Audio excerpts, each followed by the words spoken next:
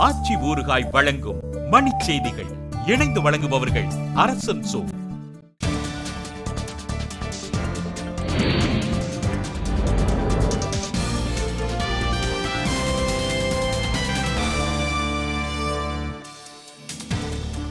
பாகிஸ்தான் சிறையில் உள்ள இந்தியரான சரப்ஜித் சிங்கின் வழக்குரைஞருக்கு தலிபான்கள் மிரட்டல். கூடங்குளம் அணு உலையில் கதிர்வீச்சு கசிவு உள்ளதாக இலங்கை தனியார் அமைப்பு குற்றச்சாட்டு. மானியம் இல்லாத சமையல் எரிவாயு உருளைகளின் விலை முப்பத்தி ஏழு ரூபாய் குறைப்பு.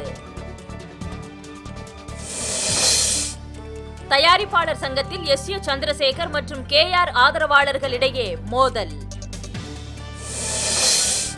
இலவசம் மது விற்பனை ஆகியவை அதிகரித்துள்ளதற்கு திராவிட கட்சிகளே காரணம் என மருத்துவர் ராமதாஸ் குற்றச்சாட்டு.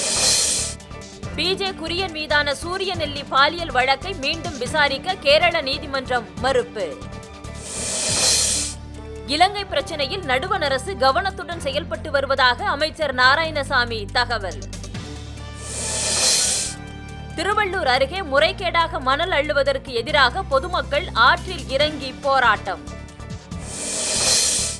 வேலூரில் சிறுமியை பாலியல் வன்கொடுமை செய்ய முயற்சித்த ஓட்டுநருக்கு அடி உதை. வங்கதேசத்தில் அரசுக்கு எதிராக மூன்றாவது நாளாக தொடரும் வன்முறைக்கு இருவர் உயிரிழப்பு. ஆச்சி ஊறுகாய் வழங்கிய மணிச் செய்திகள் இணைந்து வழங்கியவர்கள் அரசன் சோ